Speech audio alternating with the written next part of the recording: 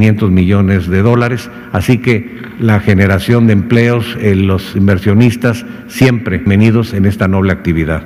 Así que con el señor subsecretario para que eh, les dé a conocer parte del documento.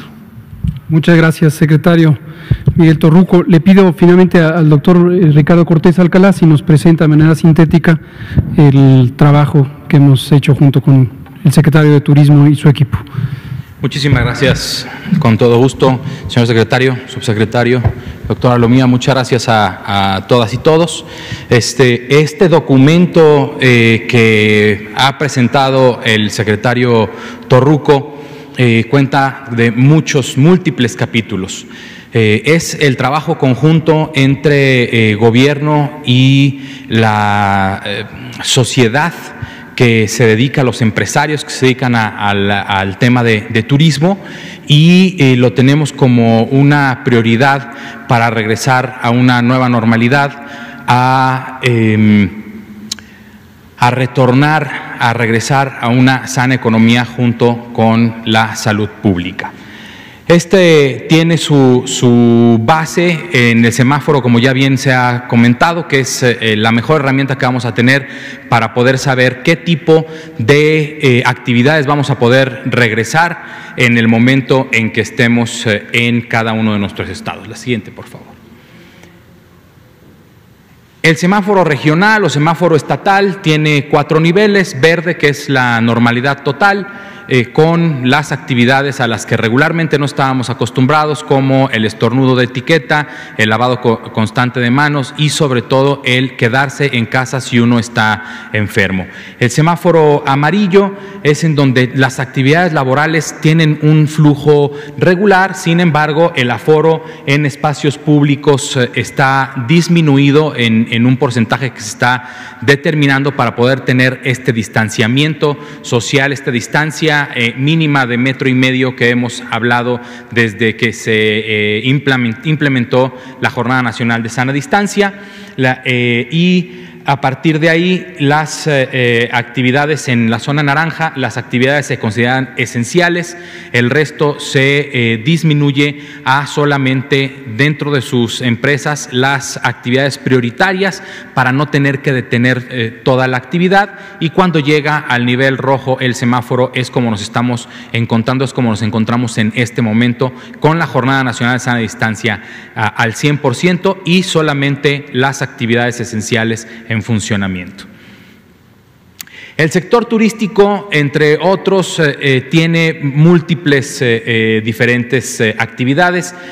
Transporte aéreo, terrestre, hotelería, restaurantes, destinos, cruceros. Es un, es un mundo muy, muy grande y por eso lo que dice el secretario Torruco es, es tan correcto de tener un documento que es tan específico para cada una de las actividades que resultó en un documento extenso de más de 130 cuartillas en donde detallamos cada una de estas actividades, cómo hay que llevarlas con esta nueva normalidad, cómo es que hay que llegar a aplicar los filtros eh, eh, sanitarios, la siguiente por favor, aplicar eh, especificidades que deben de llevar todas las actividades turísticas sin importar el giro de la empresa, la siguiente por favor, y estas son como las básicas.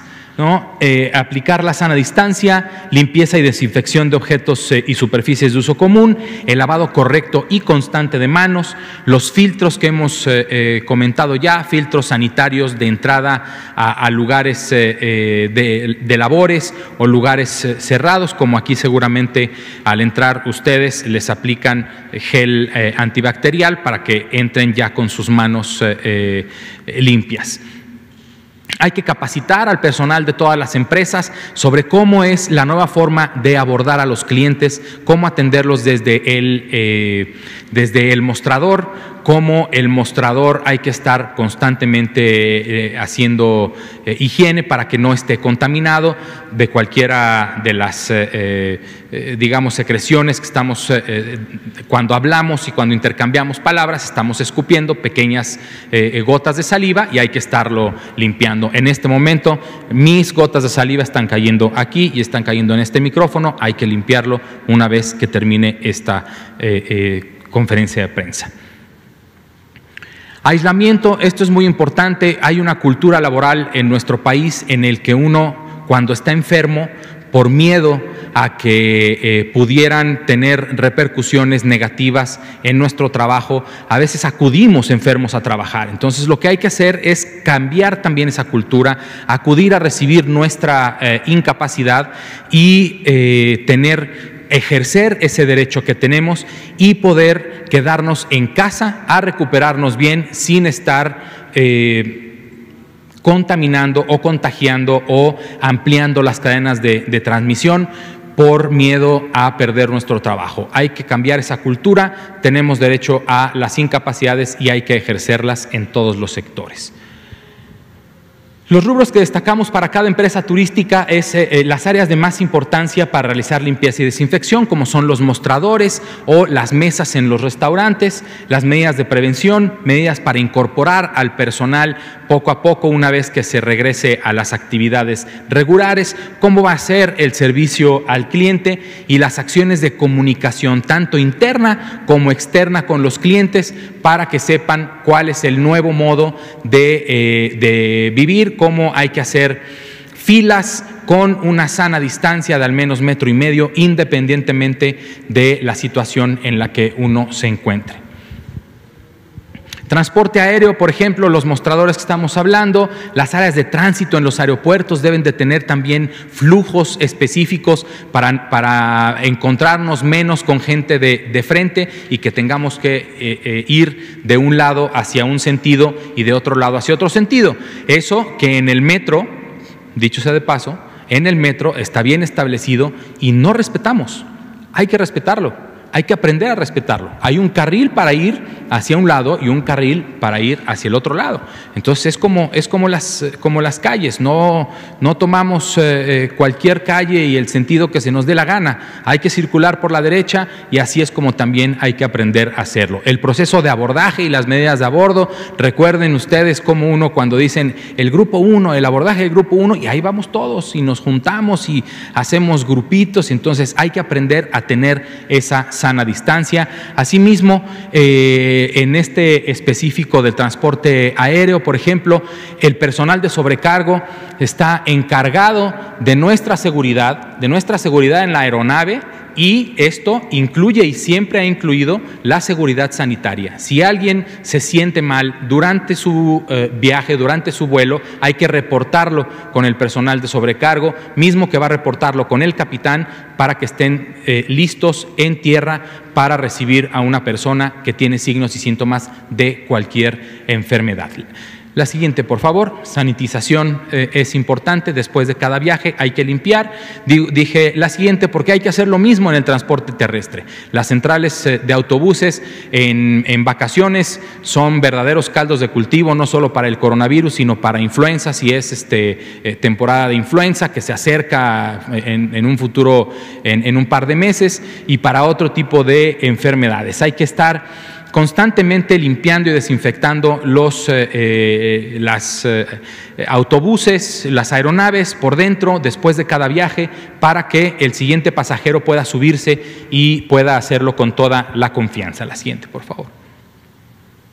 Los hoteles tenemos que aprender a convivir ahora de forma diferente en el lobby, en las albercas, el personal que, nos atiende, el personal que tan amable nos atiende, nos lleva alimentos, nos lleva bebidas, deberán de portar un cubreboca, por ejemplo, para no estar eh, eh, contaminando potencialmente lo que nos está llevando y lo que nos está sirviendo. Eh, restaurantes, bares, habitaciones, hay que hacer mejor limpieza y más profunda cada vez que hay un cambio de huésped o de familia. La siguiente, por favor. Los destinos de sol y playa, hay que hacer una mejor gestión ambiental y mejor educación ambiental en el, en el eh, ambiente turístico de playa y eh, mejorar la calidad del agua y la seguridad de todos los servicios que nos ofrecen. La siguiente, por favor. Finalmente, los restaurantes, en la cocina también hay que, hay que mejorar eh, muchas cosas, hay que cambiar muchas culturas. De repente los eh, bufetes y eh, barras de alimentos no tienen una protección y uno va caminando, sirviéndose la, la ensalada y platicando con el amigo, literalmente escupiéndole a la comida que se va a servir el siguiente.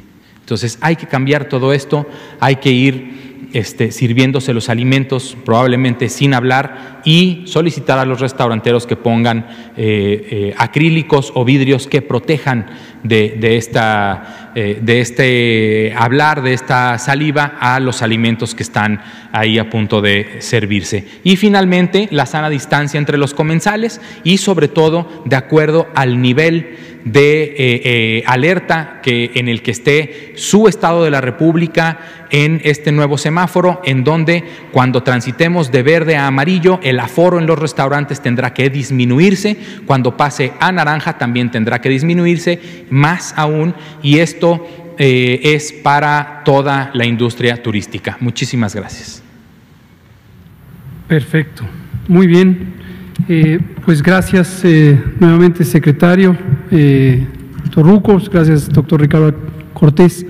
Quisiera, antes de pasar a la sesión de preguntas y respuestas, dejar dos o tres temas bien claros. El primero es, como se ha señalado, no podemos estar ni México ni cualquier otro país en un estado especial, en un estado de eh, reducción como el que estamos de manera eterna. Esta es la realidad que todos los países confrontamos. Y esto de ninguna manera debe interpretarse como que se descuida un lado o se descuida el otro. Hemos hablado con toda claridad en México y en muchos países que hay dos bienes públicos generales a cuidar.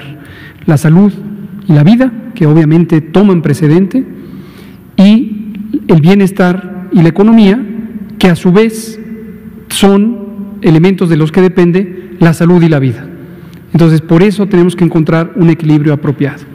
Lo segundo, como se muestra claramente en las palabras del secretario Torruco y en las precisiones técnicas que hizo el doctor Ricardo Cortés, se aprecia la necesidad de transitar a una nueva normalidad. Es decir, no es volver a lo acostumbrado, sino es encontrar todas las oportunidades para cambiar nuestro comportamiento en el espacio público, no solamente como individuos, sino como colectividad.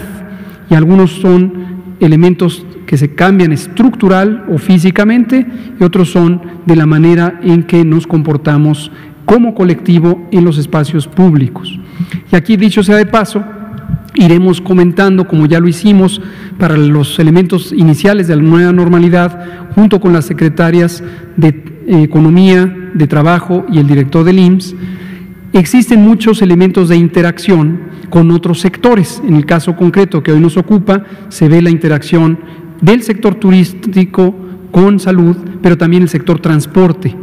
Y por eso también nuestro agradecimiento al secretario ingeniero eh, Jiménez Espriu y sus subsecretarios que han estado también muy cercanos a este grupo de trabajo, a este otro grupo de trabajo. Aquí hay otra interacción que próximamente comentaremos, que es la de los recintos turísticos que tienen una connotación cultural.